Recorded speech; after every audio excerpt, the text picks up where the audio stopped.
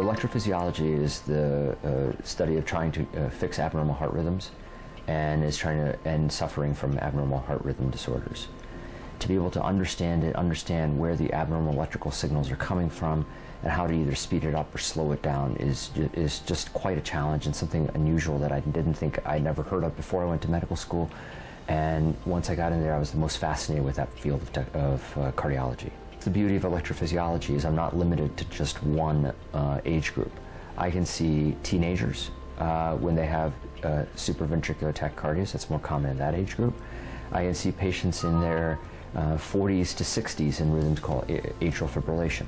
Uh, patients that are older get pacemakers, so I deal with the whole spectrum from age 18 all the way until 90s. Well, the most common heart rhythm disorder is a rhythm called atrial fibrillation. It's an abnormal electrical rhythm that originates from the top left chamber of the heart. Um, there's other heart rhythm disorders called SVT, supraventricular tachycardias, that are also fast heart rhythms. Um, we also do the exact opposite, deal with patients that have slow heart rhythms, and those are the patients that get pacemakers.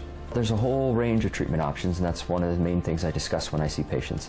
You can do anything from doing nothing to medications, to stronger medications called antiarrhythmics, to catheter-based ablation, which is what I do, where basically I put wires from the groin area that go up into the heart and try to find and cure these heart rhythms. The symptoms can be very varied, and that's why it's so hard to try to pin down exactly what's happening with a patient. Uh, I have some patients that describe it almost perfectly. I feel an irregularity, irregularity in my heart. I feel fish flopping in my chest. Uh, I just don't feel right. I know something's wrong. I hear other patients tell me about shortness of breath. Others will tell me about chest pain.